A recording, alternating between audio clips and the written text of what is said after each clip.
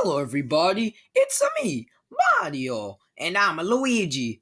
And um, I apologize for my bad intro right there. But if I said my intro quickly as usual, then okay. But if I didn't, then please let me know.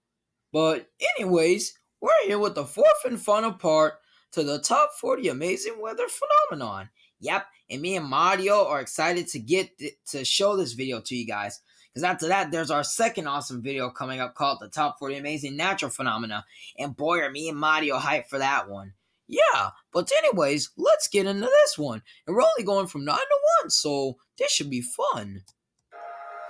Here we go, number 9. Alrighty. Wow! Luigi? is an atmospheric phenomenon Watch. Over the mouth of the Catatumbo River, Ha, where it empties can occur in areas like northwest Venezuela. okay. When warm and cold fronts meet, it forms the right conditions for this lightning. The frequent, powerful flashes of lightning over this relatively small area are considered to be the world's largest single generator of tropospheric ozone. Okay. It originates from a mass of storm clouds at a height of more than 5 kilometers and occurs during 140 to 160 nights a year, 10 hours per day, Yeah. and up to 280 times per hour. Oh, But not only that, the nearby marshes emit methane gas, improving the electrical conductivity of the clouds, which helps cause these extended lightning strikes. man, this is some interesting stuff, bro. Nah, joke, Mario. This is really cool stuff. Number 8. Fire rainbows. Ow!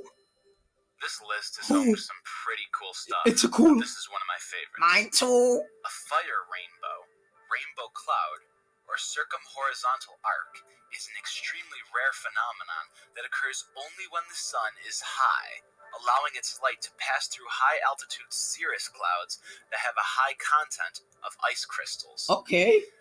Fire rainbows, unlike what their name implies, Yeah? are neither fire nor rainbows, Oh. but are called this because of their brilliant and beautiful pastel colors and flame-like appearance. That's a cool. Brightly colored circumhorizontal arcs occur mostly during the summer and between particular latitudes. That's cool. When the sun is very high in the sky, sunlight entering flat, hexagon shaped ice crystals gets split into individual colors like a prism. The conditions required to form a fire rainbow are very precise. Alright. The sun has to be at an elevation of 58 degrees or greater. Cool. There must be high altitude cirrus clouds with plate shaped ice crystals. Nice. And sunlight has to enter these said ice crystals at a very specific angle. Alright. This is why these are such a rare sight. Yeah? The rarity in the arc depends on where you are. Okay. At medium latitudes, like much of the US, it's not rare. It isn't? It can be seen several times each summer, if you're lucky, of course. Nice. In contrast, further north, in much of Europe, the circumhorizon arc is a rarity and impossible to see north of Copenhagen. Alright. Fire rainbows are not to be confused with iridescent clouds, which can produce a similar effect. Gotcha. While circumhorizontal arcs occur only in cirrus clouds, iridescence often occurs in altocumulus, cirrocumulus, and lenticular clouds. Oh, And it's very, very rare to see them in cirrus clouds. right. But how would they be seen in lenticular clouds? Because those were rumored to be UFO clouds to begin with. So wait, you think maybe the fire rainbows are responsible for the glow inside the lenticular clouds? Red rain. I don't know. Rain is caused by dust or sand that has blown into the atmosphere and is carried by the wind to great distances, Oh. eventually mixed with rain clouds, and gives color to the rain itself. Okay. A number of theories spread about the cause of the colored rain, including its relation to aliens. Okay. Before a official report concluded that the colors were caused by the algae spores sucked into the atmosphere by a waterspout. Oh. There are a number of algae species in the region, Okay. which could explain why the stories were so constant for the last hundred years. Hmm. Red rain in Europe, and especially England, is usually colored by the dust that is carried across the continent coming from Saharan sandstorms. So that thing goes to multiple places in that one spot. Yeah, Europe and red red rain in Europe and a lot of other places. Oh, number the six. We're getting there, Mario. Two suns. Two suns? The sun is really close to the horizon, and there are cirrus clouds in the sky. Sometimes another sun or light source can appear, Oh, thus giving the impression of another sun appearing together in the sky. okay. Two suns are actually the color of bright points of light created by the sun that was deflected by the crystals in high clouds. Nice. Two suns have been reported in many different parts of the world, sometimes being close together and other times far apart. Oh, As of today, scientists are still puzzled with the phenomenon, and it's still not completely clear how it's formed. That's awesome. Yeah, I mean it is, bro. It's a very cool thing to see. Number five. We're getting there, Mario. I know. I'm very excited, Luigi. Fire Whirl. Oh, A fire whirl, also known as a fire tornado or fire Luigi. is a rare phenomenon in which fire forms a tornado-like vortex of flames. Fire whirls can be spawned by other natural events, such as earthquakes and thunderstorms, and can be incredibly dangerous. Oh no. In some cases, spinning well out of the zone of the fire itself. Oh, Fire whirls are more closely related to dust devils and are distinct from the larger, more powerful tornadoes that develop from supercell thunderstorms. oh, Fire whirls have been known to be nearly a mile high, whoa. have wind speeds of over 100 miles per hour, and to last for 20 or more minutes. Hmm. Although it's rare, this type of weather is extremely dangerous. Guys, even though I look away from the camera sometimes, I can still hear what's going on, so I can't completely not see what's going on. Number four. Red sprites and blue jets. Oh, We've talked about some pretty weird and beautiful things thus far, yeah. but this is where things start to take a turn for the bizarre. Nice. Red sprites and blue jets all refer to phenomena that occur in the upper atmosphere in the regions around thunderstorms. Alright. They appear as cones, glows, and discharges. They were only discovered in the last century because of their placement and extremely brief lifespan. Cool.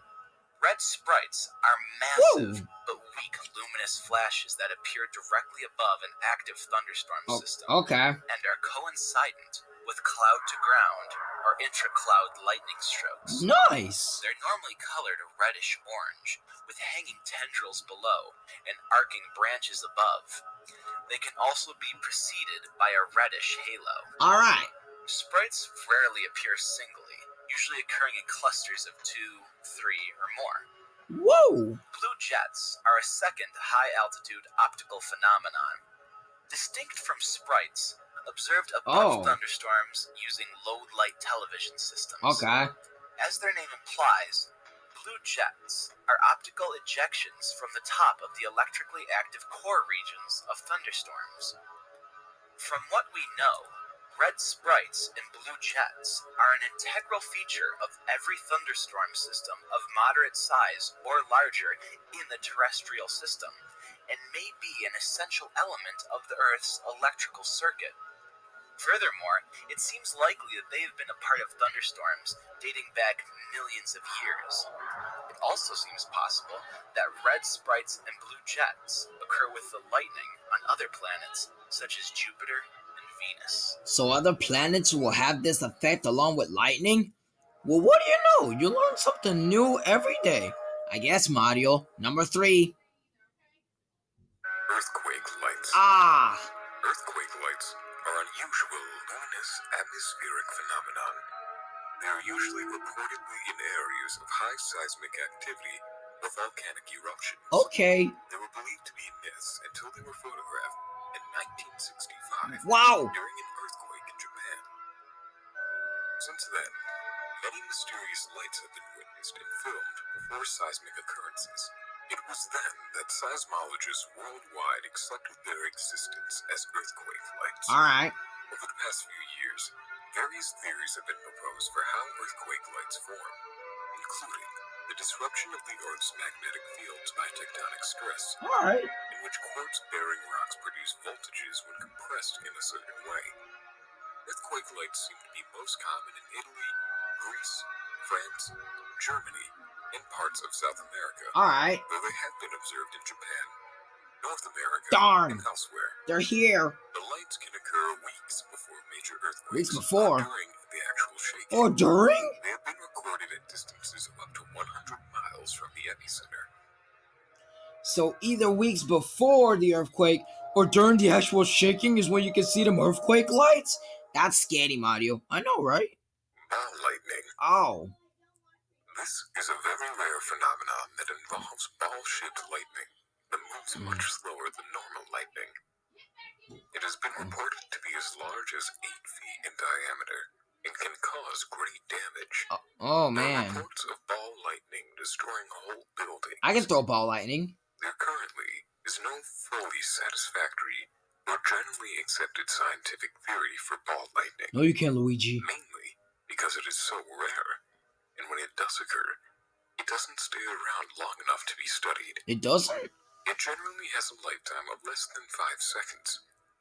At one time, ball lightning was thought to be extremely rare, but this was because most eyewitnesses feared ridicule and wouldn't come forward. Wow, okay. In reality, 5% of the population has seen ball lightning.